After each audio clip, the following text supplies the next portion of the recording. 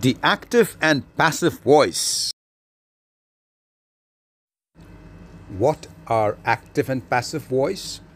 When the subject of the sentence performs the action, the sentence is in the active voice.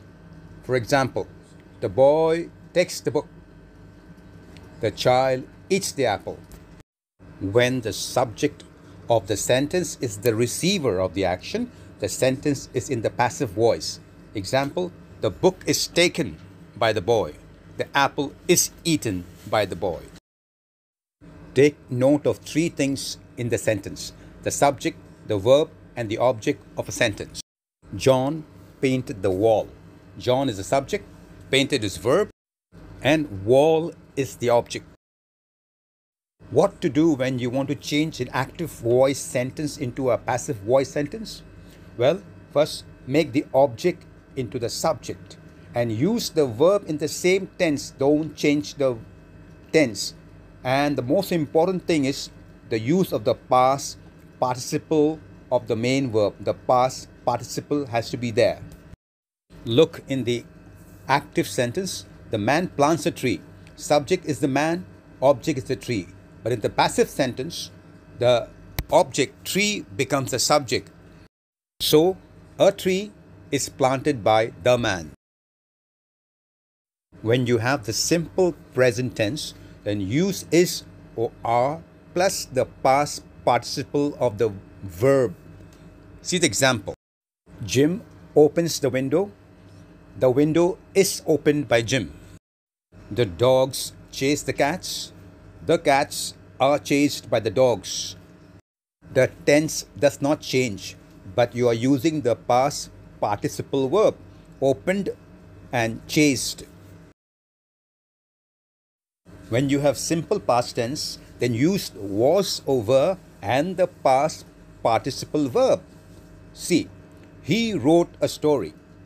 A story was written by him.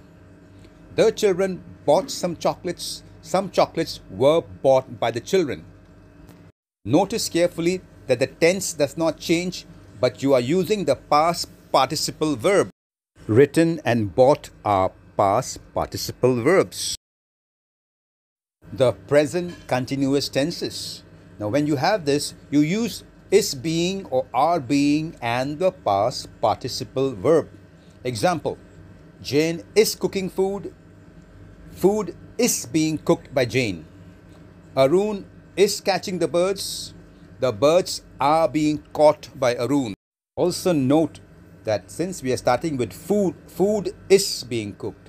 And the other sentence starting with the birds, so you are using are being caught.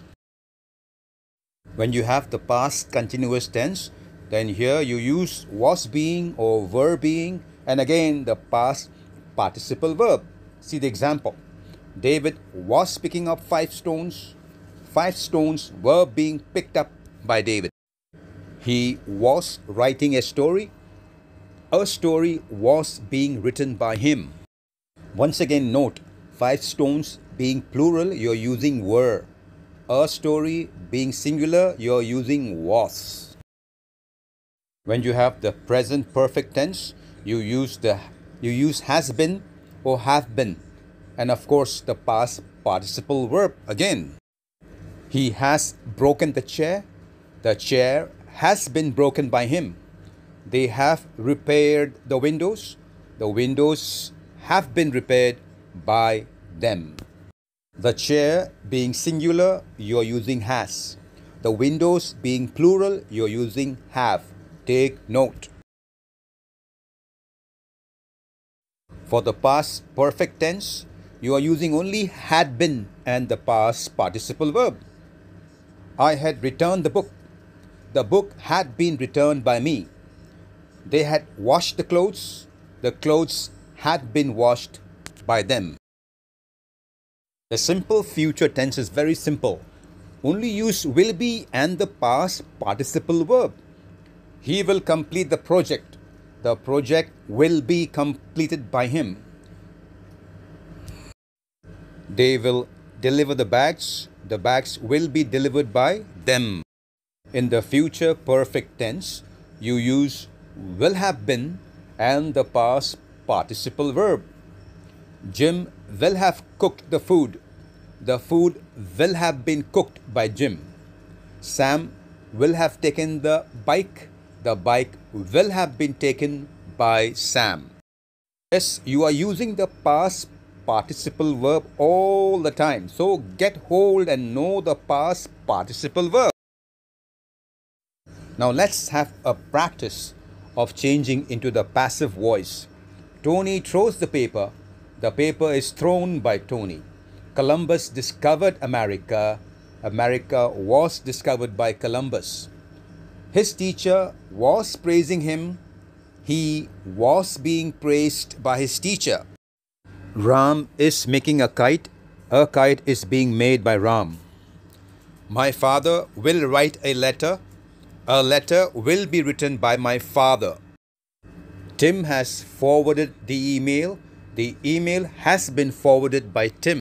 In closing, let me remind you the past participle verb is very important for the passive voice. So learn the past participle verb very nicely.